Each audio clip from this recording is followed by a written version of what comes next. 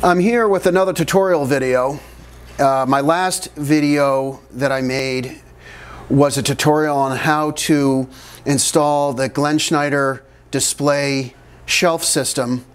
Uh, and you can click on the on the upper right hand corner of your screen if you uh, want to see that video on how I installed it. Uh, but before I get started, I wanted to ask you guys uh, if you like the content that uh, that you guys are seeing with my videos, I ask that uh, if you guys could subscribe. I'm always looking for new subscribers, and if you do subscribe, be sure you click on the little bell icon. Uh, as the you'll get uh, notif you'll get uh, a notification every time I release a new video. So uh, I'm going to be doing a tutorial on weathering bridge girders to look to go from this to this. So let's go.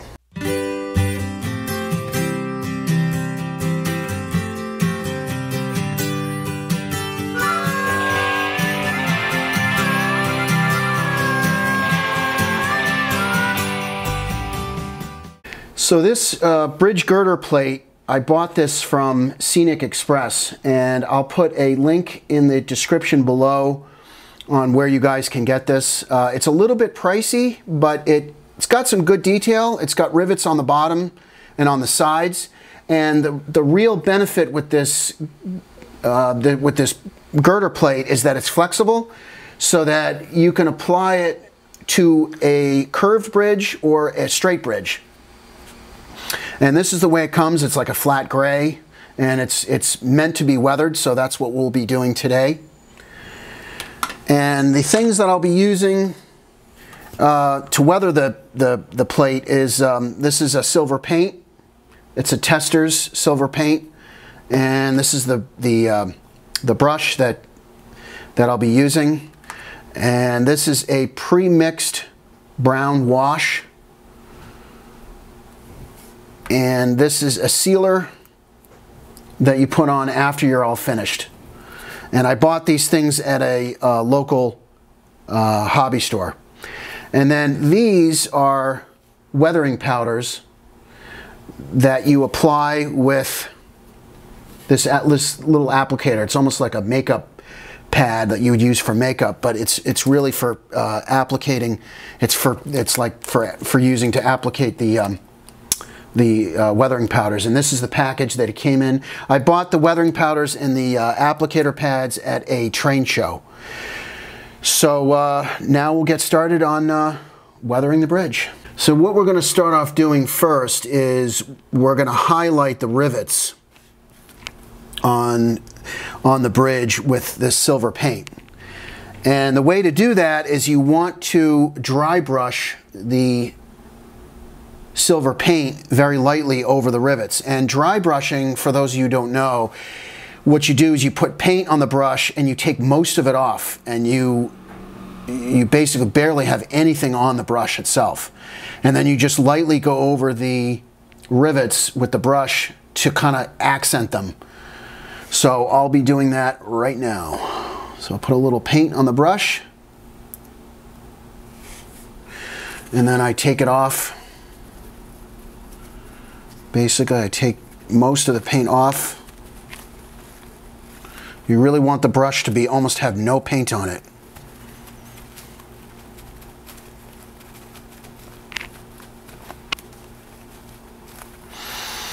And then you just lightly go over the rivets. You start at one end. And it, it's, it almost seems like you're not really you're not really doing much and it's just a very very light light application. It's just to bring out the rivets to get them to kind of you know accent them a little bit more. And I know it's it's hard on the camera. The camera is not really going to pick this up. Uh, you just have to look for yourself as you do it and you have to be a judge if, if you need more paint on the brush you put more on. If you need less you take you take uh, you take uh, the paint off and you just kind of go over all the rivets. And you'll see as you uh, lightly accent the rivets, you'll see them, they'll start to, stand out a little bit and it'll really, it'll make it look, um, give it more of that three-dimensional look to it.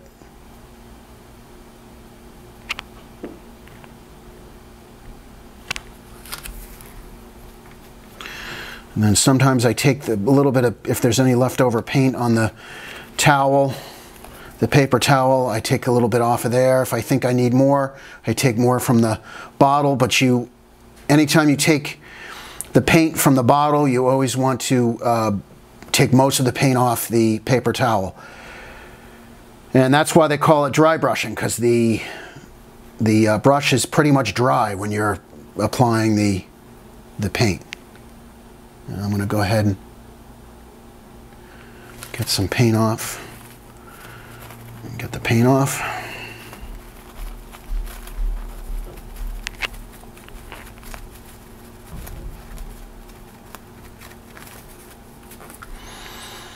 And go back. If it's too much, you take some more off.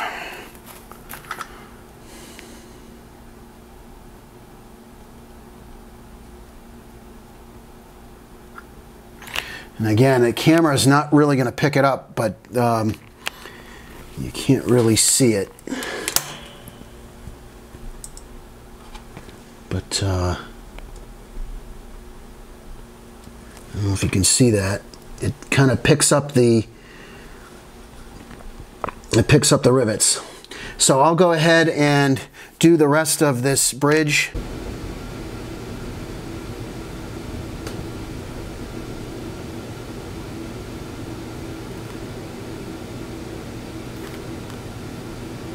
Okay, I'm at the end here. Uh, I moved the camera a little bit so you could get a better view of the, the end.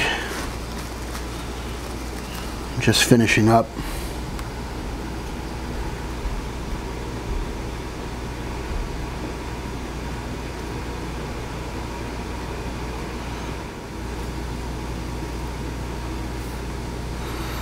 Okay, so it looks pretty good.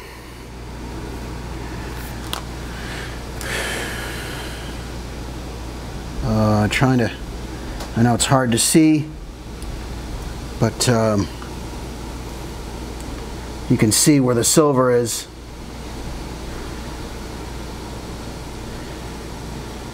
And so now the next step I'm going to go ahead and do, I'm going to be doing the, um, the, the brown wash and um, I'll be using this right here. But before I do that, I got to let the silver paint dry. Okay, so now I let the silver paint dry. It's been a little over an hour. And so the next step, what I'm going to do is I'm going to use this uh, wash, this brown wash. And it comes with its own paintbrush, but it's very, very small. The tip is very small. And what I like to do with it is I like to take the, the edges and just kind of let the paint, the wash run down the cracks and it just, you just let it run down the sides. And it bleeds because it's a, it's a, uh, it's a wash. It just runs down the, and it's, I know it's really hard to see on the camera, but uh, I just keep dipping the paintbrush and I just let the gravity do its work and you're basically simulating rust that would run down the sides of the uh, the uh, the bridge. And you go in the corners and you just let the paint run down. And I'm constantly dipping the brush in the in the wash so that it can so it can run down the crevices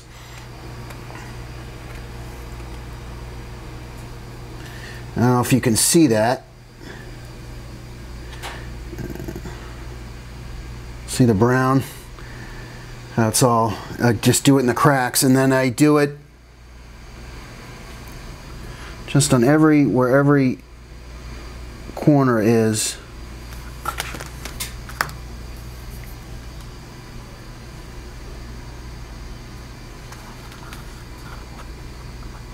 I just touch the brush at the very top and let the let the paint just run down the sides.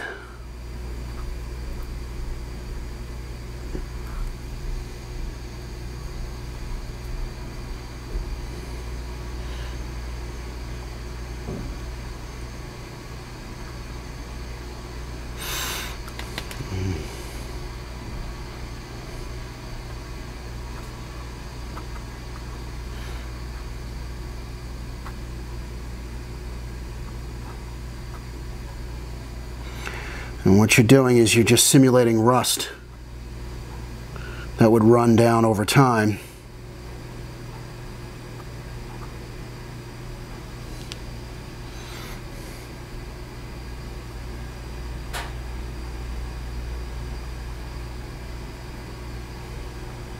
See it's bleeding into all the crevices.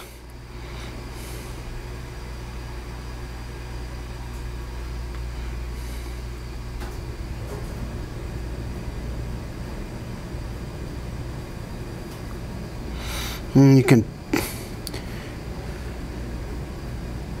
you can darken the bottom part because that's where most of the water would uh, sit when it, the, the bridge would be in the rain.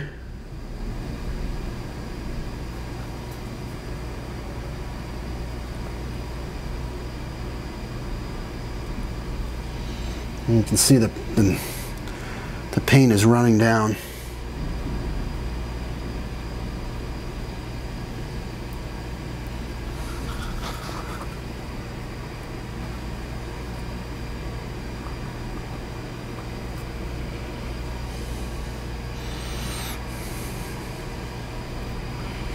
And just continue all the way down each square.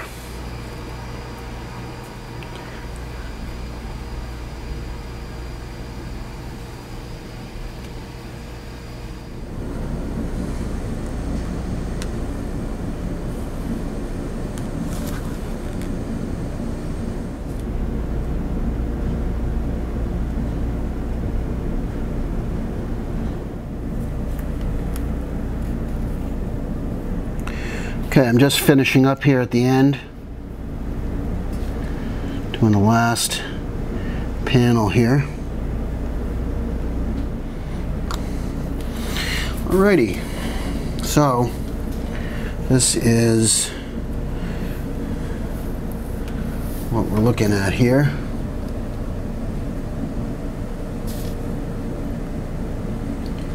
And you can see the, the rust is starting to you can see it, it's in the corners. And you can see it's starting, the bridge is starting to look more and more realistic. If you want to go back and after it dries, you want to touch it up, add more of the uh, brown wash, you can certainly do that to darken it up. But the uh, next step is to do the, uh, the uh, weathering powders. We're going to darken up uh, in between the ribs. Add some more browns. So uh, I'm going to go ahead and let this uh, this dry, and then we'll go to the next step. Okay, so I let this dry, uh, the uh, the brown wash, and you can see kind of what it looks like. It's just a little hint of brown around the edges. And we'll be darkening this, darkening this up more with the, uh, with the weathering powders. So the weathering powders, um, a little bit goes a long way. And what you do is you just kind of dip this in here, just gently rub it on the pad, and then you just lightly rub it on.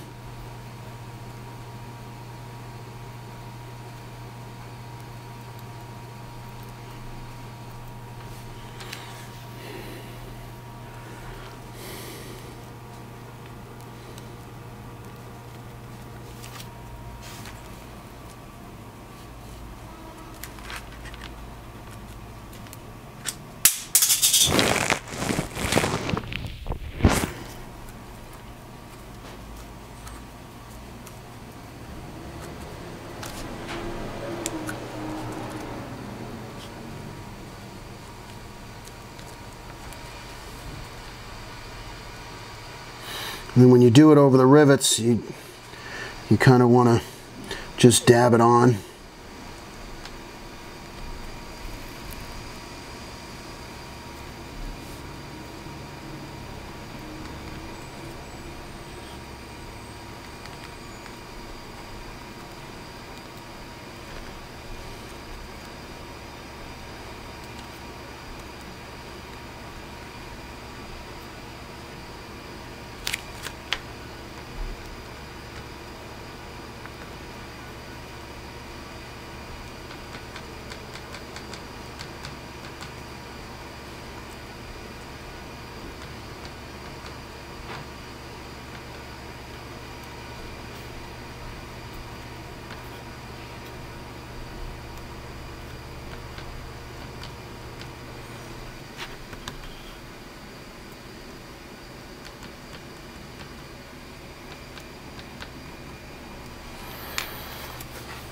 And you don't need to be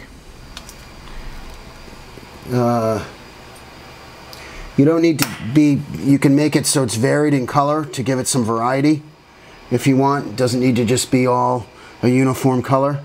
But uh, that's that's how it um, how we're gonna get started. So I'll go ahead and do the rest and I will be back when I get to the end. Okay so I finished doing the rest of the bridge and you can see here um, how it looks all the way down.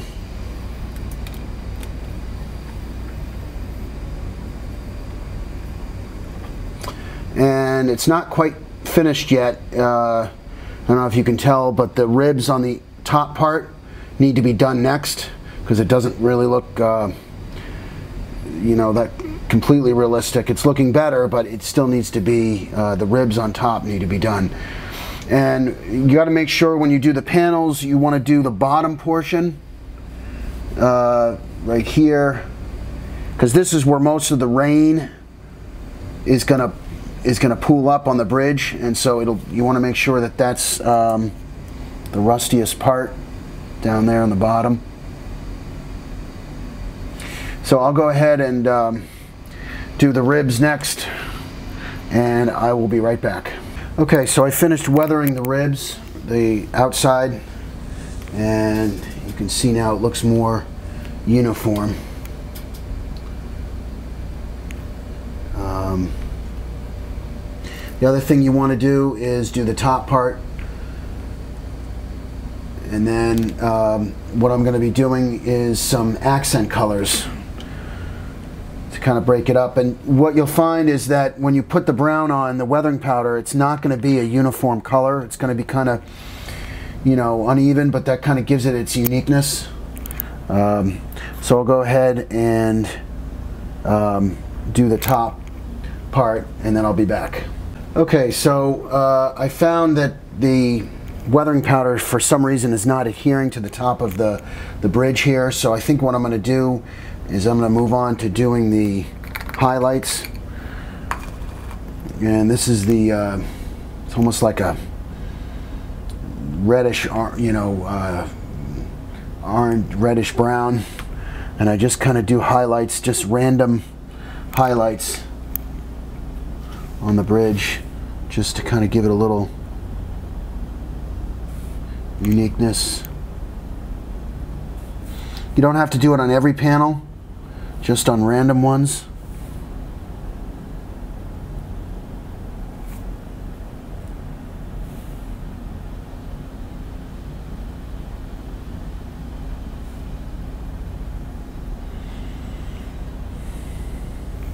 So when I'm finished, I'll be back.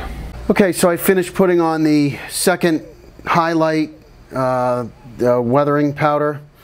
And here's a better view of it.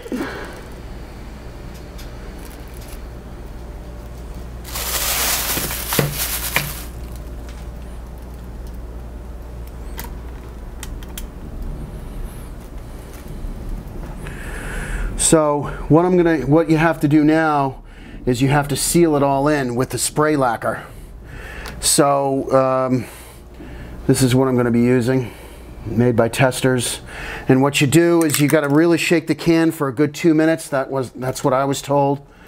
And um, what I'll do is you just do two coats. You just do two quick swipes over it, and what it does is it seals in the um, the uh, the weathering powders. So you just go quick.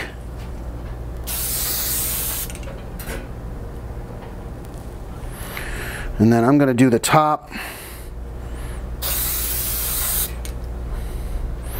Okay. And then um, I still need to do the top part. Hopefully I'll be able to get some um, weathering powder on there and I will be back. Okay, so this concludes the, uh, the video here. Um, what I ended up doing was I went back to the first girder plate that I did off camera uh, before and ended up darkening it up because it was so much lighter than the one that I did on in this video so I wanted them to match um, so um, my next video I think I'll be doing is an update on the uh, the progress of the Peabody Merrimack Valley. I haven't done an update video in a while and I think it's overdue. So uh, stay tuned for that in uh, the next couple weeks. We'll see you guys later.